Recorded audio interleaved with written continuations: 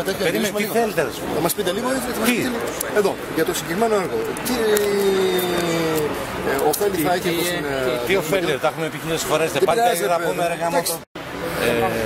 Δημοσθένης Μαυρίδης, δίνουμε Γενικός Διευθυντής της Διάδημα. της Διάταξης.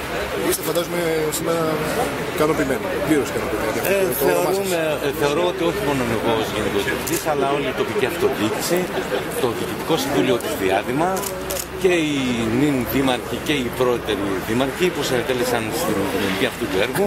Σήμερα είμαστε όλοι περήφανοι και χαιρόμαστε γι' αυτό για την σημερινή λειτουργία του έργου που πραγματικά είναι ένα περιβαντολογικό, ένα έργο πολιτισμού για την περιοχή μας και θέλω να πω επίσης ότι είναι το πρώτο έργο στην- σε όλη την Ελλάδα ε, είναι αυτό το έργο που ε, πιάνει τους ευρωπαϊκούς στόχους και αυτό είναι της Δυτικής Μακεδονίας και μόνος.